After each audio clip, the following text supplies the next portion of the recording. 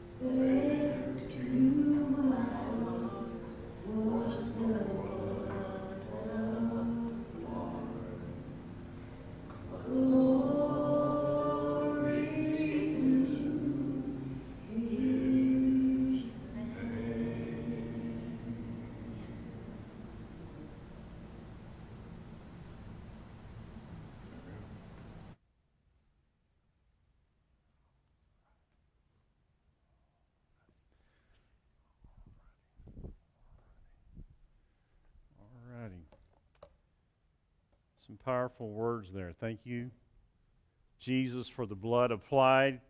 Thank you, Jesus, what it has washed me white. Thank you, Jesus, you saved my life.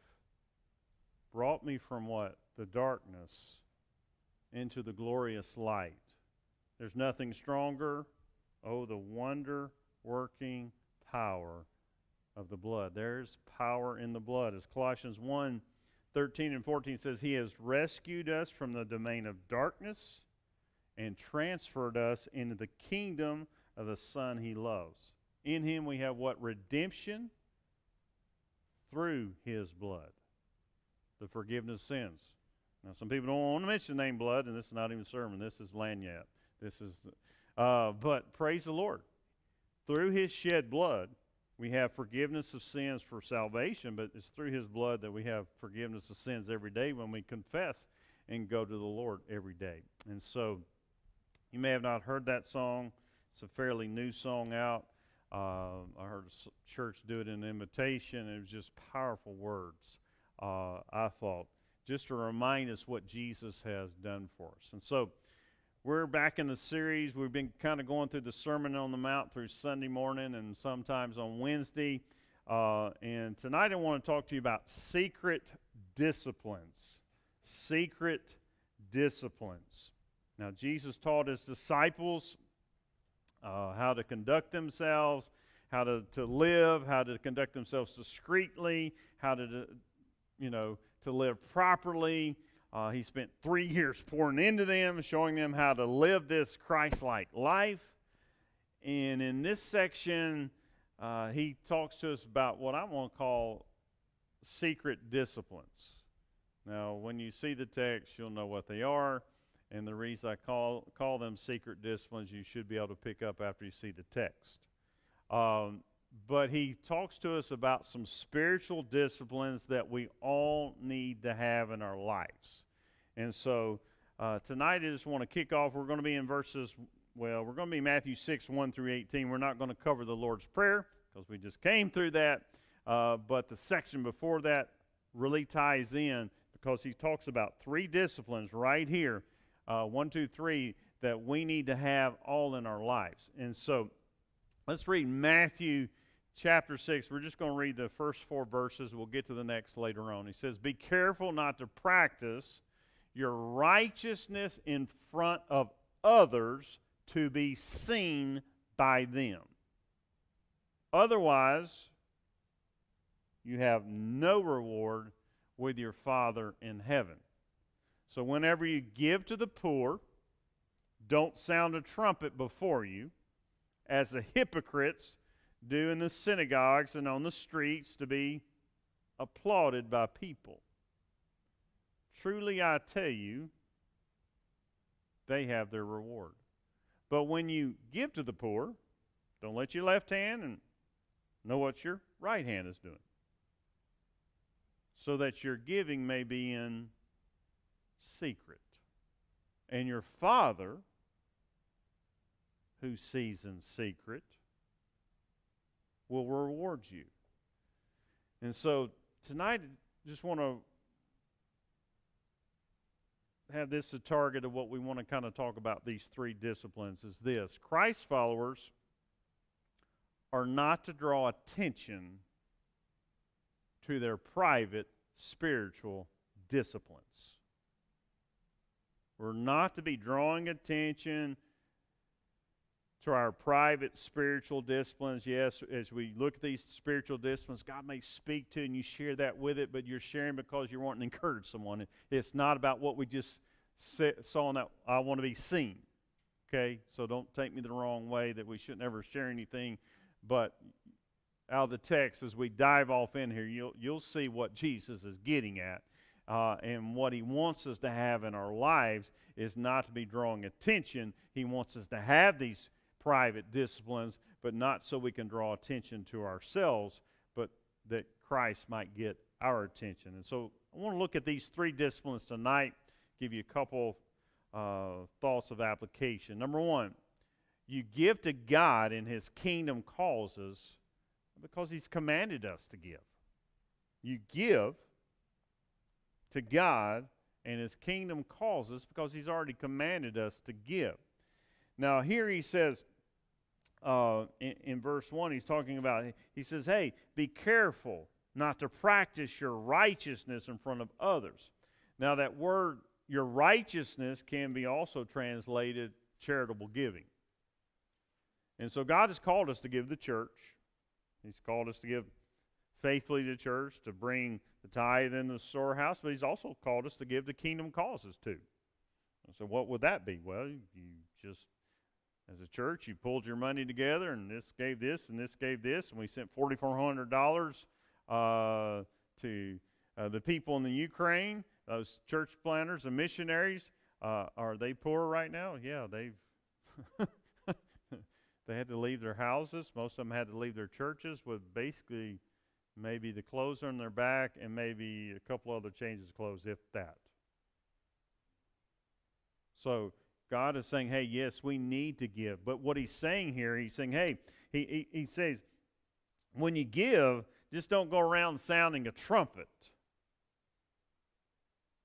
Now, is a trumpet a quiet instrument? No, you blow that trumpet, you're going to get somebody's, you're going to get people's attentions when you blow a trumpet. And it's meant to draw attention. Now, before we throw these Pharisees and these religious people under the bus, uh, many people in our own county, in our own state, in our own nation, in churches, blow their own trumpets. They may not come out with their own trumpet, but they'll blow their trumpet so they can impress people by what they give. I've heard it a bunch in the church. People will, they'll even blow it in front of me. 30 plus years of ministry. And what did text say? You got no reward, right? You know, if you want a reward, you just got it from from man. You you got no reward there uh, from uh, from me. And so what Jesus is saying is for us, we got to be careful not to blow our trumpet and say, "Hey, look what I've done," or or man, because I gave so much, I want my name on that wall, or I want my name on this building, or I want everybody to know how much I gave to the building fund, or whatever else. And I think Jesus says uh, this is a secret discipline. You know, you, you your what does it say? You, your right hand's not even supposed to know what your left hand's doing. So, so what does that mean? That means we're, we're just to be giving as we're led by the Spirit, but not concerned about what people think or what people know. The Talmud says this, the Jewish Talmud says this praises a man who gives charity and money in secret. Listen to what it says.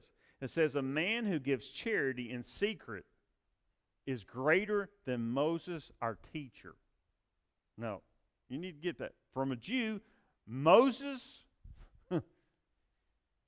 outside of Father Abraham, he is the man. Why?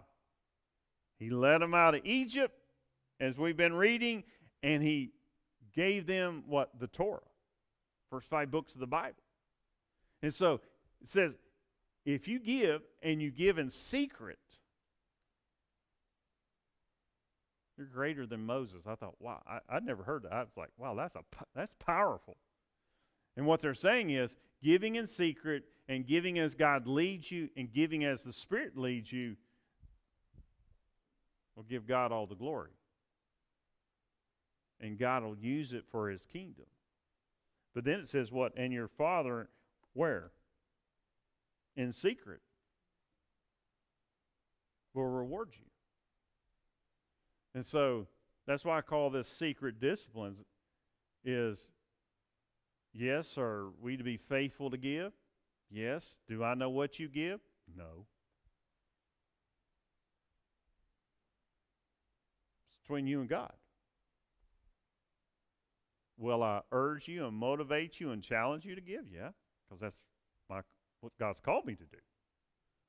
But if you've listened many times, I'll, I'll, I'll ask you, especially something like Ukraine or something, I'll say, hey, you just pray. Seek God and seek what number He gives you. Because many times I think in those instances, God will say, hey, I want you to give blah, blah, blah. And it's not about Him giving you numbers so you can tell others. It's about, okay, God, that's what you're saying. All right, I'm going to be obedient and do it. And then God says, all right, now, you know, I will reward you for that. But if you just want to blow a trumpet and, and be known for what you give, or, Pastor, I'll give $500,000 to the building fund, get us what that's not what it's about. Praise God for many people that are just opposite that in churches. I've heard time and time again of where people don't even know, or maybe the only person knew is who they dropped off the check to. They anonymously gave. I've known people to anonymously give to church. My first church, I had someone anonymously give so we could. We were trying to get a, a we had a old upright piano and we needed something nice and we were raising funds and somebody didn't even go to our church handing my music minister forty four one hundred dollars bills and what did we owe forty four hundred dollars so god can provide i know another church they were 1.3 million dollars in debt new pastor came in they started trying to reach the community and do stuff and they were reaching some community but the debt was keeping them kind of strapped down. Somebody in the community heard what they were doing, paid the whole thing off. Don't know who it is today. If you want a reward now, tell everybody. You want the reward in heaven, don't let nobody and don't even let your left hand know what you're doing. And God will bless you for it. Second, you should spend time daily talking to God so that you may have an intimate relationship with the Lord Jesus Christ. You should spend time talking to God daily so that you may have what? An intimate relationship with the Lord Jesus Christ. Now we're going to look at verses 5 through 8. We've already we've dissected the Lord's prayer. If you didn't get that, you can go watch the other videos. But we've dissected that pretty well. Let's just look at verses 5 through 8. He says, Whenever or when you pray, you must not be like the hypocrites. Because they love to pray standing in the synagogues and on the street corners to be seen by people. Truly, I tell you, they have their reward. But when you pray, Go into your private room, shut your door, and pray to your Father who is what? In secret. And your Father who sees in secret will reward you. And when you pray, don't babble like the Gentiles, since they imagine they'll be heard for their many words. Don't be like them, because your Father knows the things you need. Praise God. Your Father knows the things you need before you ask Him. So let me just say this for our dot. The reason we need to pray is about the intimate relationship. It's about spending time with Him, not getting what we need. Because God already knows what we need before we even ask Him. But He wants us to ask. You, you, you have not because what? You ask not. And so he talks about prayer here. Now he says he talks about hey, don't be standing on the street corners. You need to understand a norm, the normal posture for prayer for the Jew was standing. What do they do at the Wailing Wall? Most of them in Jerusalem, they're standing there and they're praying. So it's not about the posture, okay? And there's nothing wrong with praying in public, okay? It's why they were doing it. The Jews had three times set aside during a day that they prayed. Uh, it's just the Pharisees and the Jewish leaders would pray out loud or like, hey, Lord, man, I fast and I pray and I've been given, Lord, and Lord, I'm just so grateful that I'm better than that dog Gentile that has just walked up. You know, they were praying to be heard and be seen. Now, did Jesus and his disciples, were they involved in any of the prayers at times? Uh, with the Jews, yes, I, I believe they would go at many times to the prayers in the temple, the prayers in the synagogue, but they didn't go for show. They went to pray to the Father. But it says what? When you pray, right? Didn't say if you pray, when you pray. Now, the you there in the Greek is second person, which you should, well, y'all know pronouns. Our kids don't know pronouns probably, but uh, you there is second person singular, which means each individual you're to pray. This is not plural, like you all pray. It's like when you pray individually, you need to go into your prayer room. You need to go to your prayer closet. Now, the, this word here, room, uh, the Greek word here, it was used back then uh, to refer to a storeroom where treasures might be kept. Might be a closet where you had all your treasures, your nicest things would be kept in this storeroom. And you need to understand when you have a place, wherever it is, and you meet with God and you talk with God, that's a special place. Because you're going to receive treasures from God. What are those treasures? Man, you get to meet with God, you get to hear from God, you get to talk to God, you get to listen to God. And see, those treasures are waiting us if we will go in secret and spend some time. He wants to speak to us.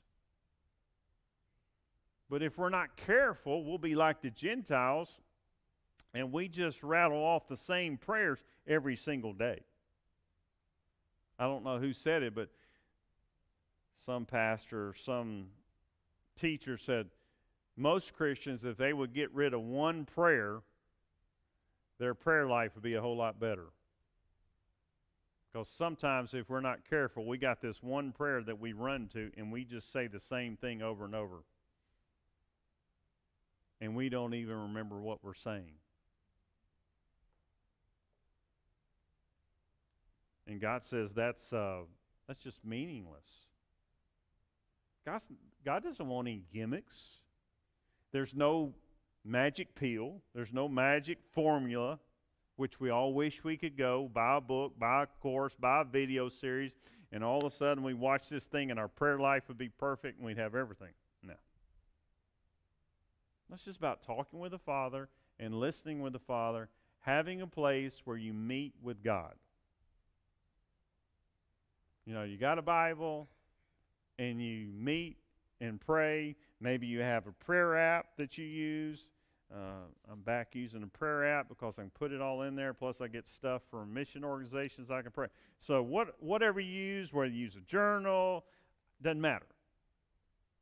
But are you going to spend some time talking with the Father, praying with the Father, hearing from the Father, but then praying for others? See, sometimes we we treat God like an, a cosmic Santa Claus. God, man, I got my list here. And you're like, hey, I'm even praying for some others, but you're really only interested in your list. But we sometimes forget, man, we got an awesome privilege as Christ followers. Why? Because the blood has been applied to us. And when God looks down on us, He doesn't see us in our sins anymore. He sees us, sees us cleansed in the righteousness of God. And because of that, if, if we're clean and confess to God, we have access to God and we have access to Almighty God, Eternal Father. You got problems? I got problems. You got needs? I got needs. You got stress, I got stress. Who can you run to? The Father. Go in secret, spend time with the Father. Don't miss that word I put in there. Very key word an intimate relationship,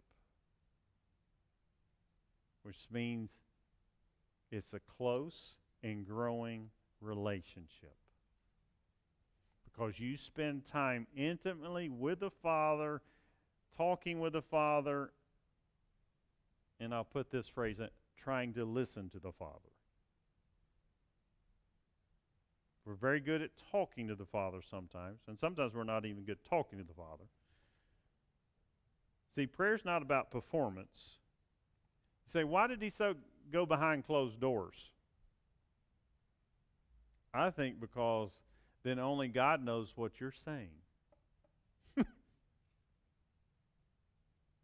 and you're not trying to impress anybody else. But he says, man, who you, and your father who sees in secret will what? He'll reward you. And what's that reward mean times? It's answered prayer. It's maybe a word from God that you need that day. You know, he just says, All right, you need this. Because I already know what you're going to face. And so, understand, we need prayer, we need giving. But he, he goes to this next one. Number three, this is the third secret discipline he talks about, is you give up food, water, drink, or something else for what? Sole purpose that you can spend more time with the Lord Jesus Christ. You give up food, water, drink, something else so that you can spend more time with the Lord Jesus Christ. Now, 9 through 13 is the Lord's Prayer. Verse 14 and 15, he says, right, let me remind you. Uh, you need to forgive one another. If you don't forgive one another, I will not forgive you your trespass. And then in 16, he still, you're going to see here, same symmetry going on. He says, What? Whenever you fast, or when you fast, not if you fast. He says, don't be gloomy like the hypocrites. So he's been talking about them, for they disfigure their faces so that their fasting is obvious to people. What does he say? Truly, I tell you, they have their reward. But when you fast, put oil on your head and wash your face. So what? Purpose is so that your fasting isn't obvious to others, but to who? Your Father who sees in secret. And here comes this phrase the third time. This is not by happenstance. He says this three times. And your Father who sees in what? Secret will reward you. And so I really do think these are three, yes, secret spiritual disciplines, but I really think very key spiritual disciplines if you're going to live the Christ like life, if you're going to live the life of a disciple and impact the kingdom, you're going to live out these. Now, what were the Jews doing? They were playing the part. They were just dressing up. Sometimes I think they were fasting. Now, the Pharisees would fast two days a week. They would fast Monday and Thursday. And many times they let people know they were fasting. Why would they do that? Well, I'm more spiritual than you. I'm fasting today. you know. Now, did the Jews fast? They did fast around some of the festivals. Uh, the Torah talks about on Yom Kippur, the Day of Atonement, day the blood was applied. All the Jews fasted. They were required to fast. Was there other fasting in the Bible? Yeah. Remember Daniel? He fasted and prayed. How did Jesus start off his ministry? 40 days? Fasting. Now, what is fasting? Just four words, I think abstaining for spiritual reasons.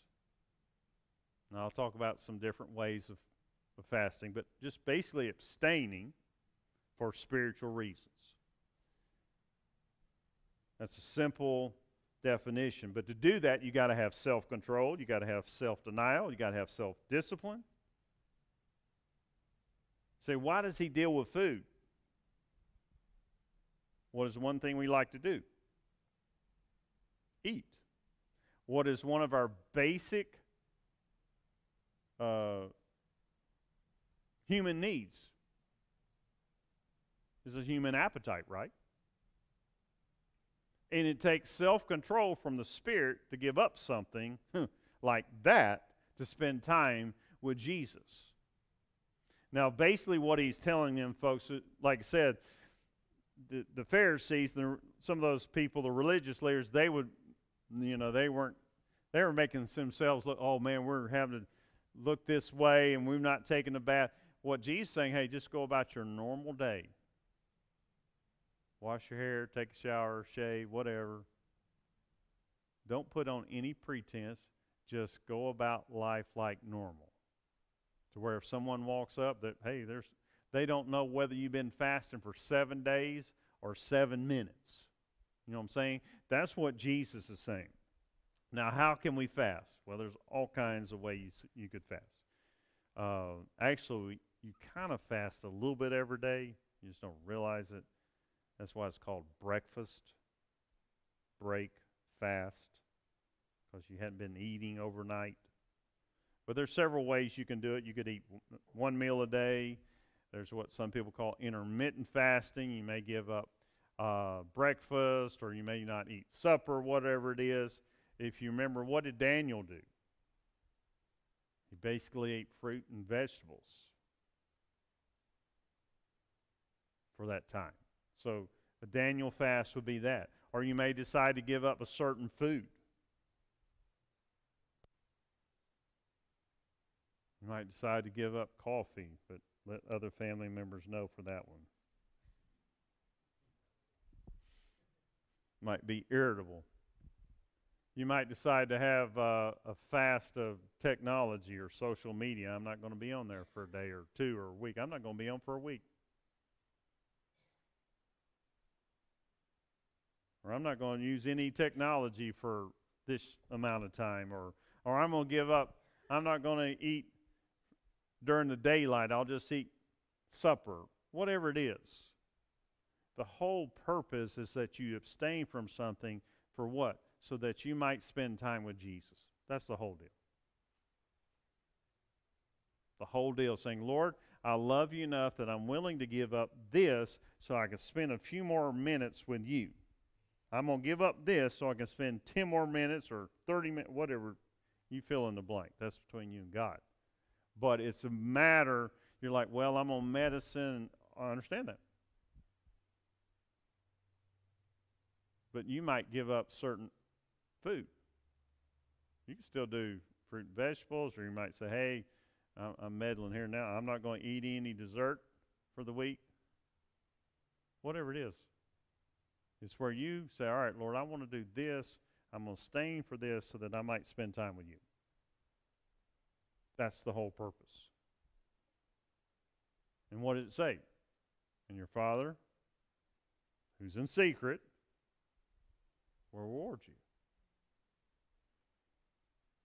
Now, this is not a popular discipline, and most Baptists don't want me ever mention this. But smack dab right in the middle of the Sermon on the Mount. And everything Jesus is, is nailing here is about, all right, I'm teaching this, but it's about motive. I want you to know the right motive and why you need to do it so that you might grow closer to the Father. And so let me give you some application, just four thoughts from this. Number one, you should not try to impress people with improper motives. It's not about trying to impress people. If you cave into man, you forfeit the praise and, and honor that you'll get from God. See, sometimes the problem is just us. We want to please self. as D. Martyn Lloyd Jones said, it's just about pleasing us.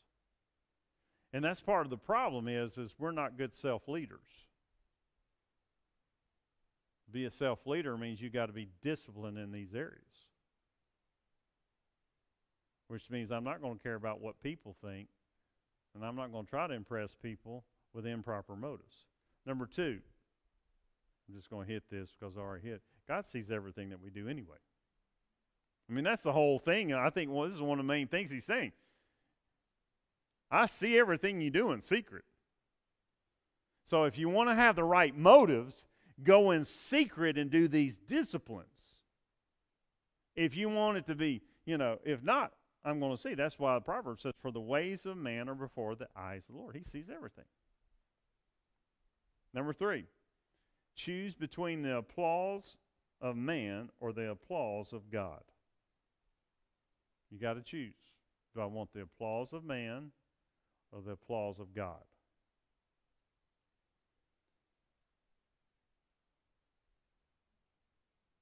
See, many times we give in to the fear of man. We got what I, I don't remember if I saw this from commentator or whatever, but we have a lot of religious Pharisees Phariseeism going on today. You have people serving in churches all over the place. You have people, well, some of that's maybe changed since the pandemic. Nobody wants to serve much, but but I still think you have people that serve in churches because they just want to be known and seen and applauded by men. They're not serving because they want to honor God. And then last ties in with that. Christ followers are to live for an audience of one. We just have one audience.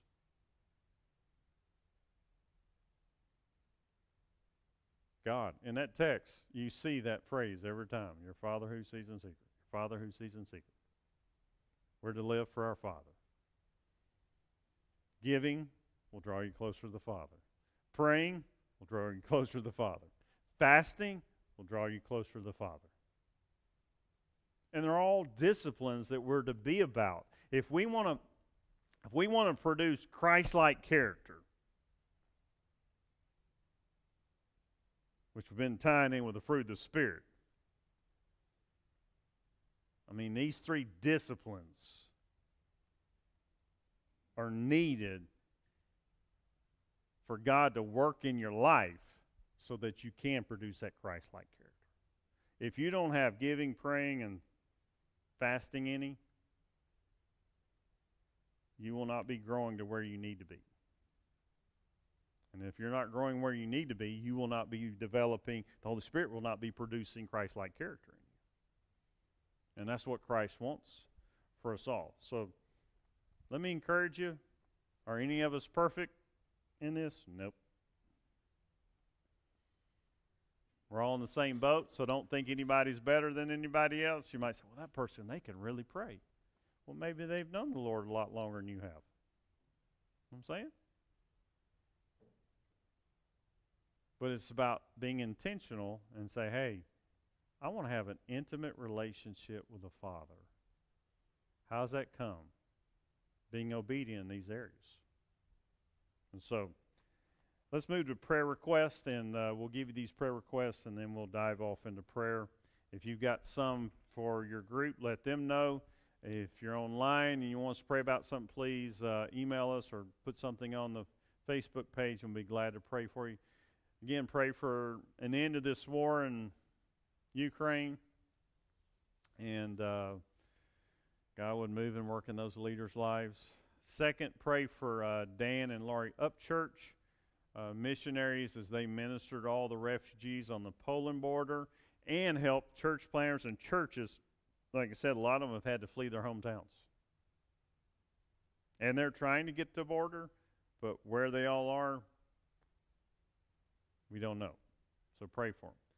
Number three, pray for Easter services all over the world. We're going to celebrate the resurrection and the blood he shed. And let's just pray for people to be saved. Uh, then pray for the search committee uh, as they're working and and uh, looking for the man of God for the associate pastor of children and students. So pray for that. Do you want to praise the Lord for 90 plus dozen cookies that were delivered Monday and Tuesday. Uh, pray um, had good heard I had good response, but I heard some other good testimonies of others that went out. Uh, but pray that the random act of kindness will cause many to think about salvation and coming to church on Sunday. If they come to Bethsaida, praise the Lord. If they go to another church that'll preach the gospel, praise the Lord. Will we know it? Doesn't matter, but our Father in heaven does. You know what I'm saying? And so just pray. You never know. Because um, just to give you an example, most places, and those that went and delivered to probably can say the same testimony. You walk in with a box or boxes. And they're thinking, oh, great, what's this guy selling me? You know what I'm saying? You can see the, uh, and then when I share with them, you can see the their whole demeanor change before your face within seconds. You can see a smile come on and hear a thank you or like, wow, never had anybody do that for me. Or thank you for thinking of us. So whether you delivered them, made cookies, boxed them, prayed for them, God, you were able to touch probably 60 plus schools, businesses, and restaurants. We even hit some fire departments, EMS. So you cover people all over this county from all walks of life, and you don't know how that one cookie might be the thing to get them to think about Christ. So pray for that. Then pray for revival uh, here and all around the world. And then pray for uh, the Southern Baptist Convention. Um, will meet these dates in Anaheim. But pray for the convention to start to take steps back to conservative beliefs. Okay? Um, and there's a couple of really strong conservative men of God that are going to be running, and um, so I'm going to be going. Me and Janice are going to go um, to um, just represent you and try to, re- hey, be a voice and say, we want to go back that way. We don't want to go that way. We want to go back to the Word, back to the gospel, back to the sufficient Word of God. So pray for it. This is it's a really critical time, and I wasn't going to go just due to cost, and I didn't even think they'd let us in California, but they need tax money, so they waived all the mandates as of April 1. So we can come in as Southern Baptists uh, and infect the area uh, with the gospel. Okay? And so just pray for that. Okay? All righty. We're going to let you go online and in the house, you online, you pray. Hope you'll join us Sunday as we look at the gentleness factor. So uh, be looking at that. And so if you'll join us in the house. Let's pray.